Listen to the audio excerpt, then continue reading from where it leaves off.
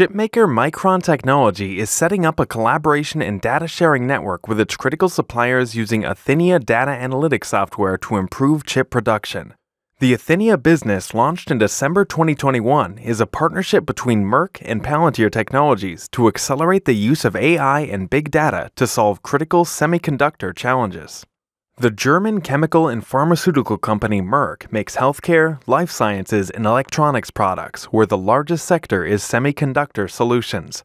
Palantir is a big data analytics company whose products, which can link separate data silos, are used in sensitive government applications by the U.S. intelligence community and Department of Defense. Its Foundry product is used by business customers such as Airbus, Fiat Chrysler, NHS England, and others. Laura Matz, Athinia CEO and Chief Science and Technology Officer of Merck, said, the secure architecture provided by Athinia will allow Micron and its suppliers to share a single source of real time data without compromising data ownership, governance, privacy, and security. Through data sharing and collaboration, the platform leverages machine learning driven analytics to solve critical challenges. Athinia says it has state of the art AI driven quality control methodology which can improve process and device yield, reduce costs, and accelerate product development using select data and insights from Micron's supply chain.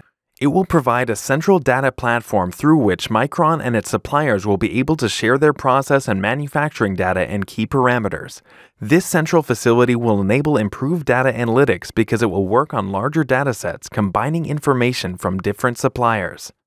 Manish Bhatia, Micron's EVP for Global Operations, said, as leading edge technologies become more challenging, solutions like Athinia provide the kind of multi party collaboration and data insights that make new leading generations of memory possible. The Athinia software will help to improve material quality and supply chain resilience as well as sustainability elements such as carbon emissions and energy use. Alex Karp, Palantir co founder and CEO, added his two cents. The production and delivery of semiconductors is absolutely vital to our collective welfare and security.